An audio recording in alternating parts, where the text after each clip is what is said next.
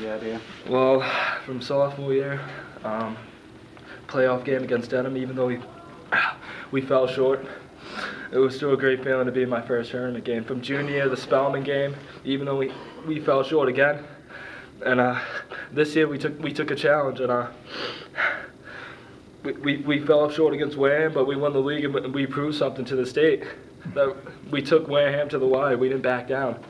We never backed down. Yeah. Talk a little bit about your teammates. What do these guys mean to you?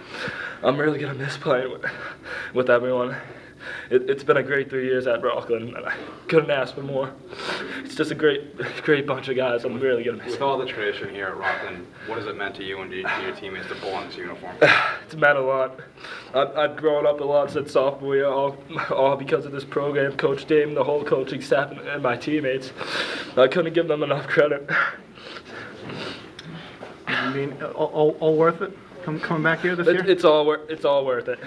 There's no place like Rockland, and, and I'm serious when I say this. There's no place like Rockland. What about it makes it so special to you? It's a tradition. It's, it's it's just one big family. That's why I stayed.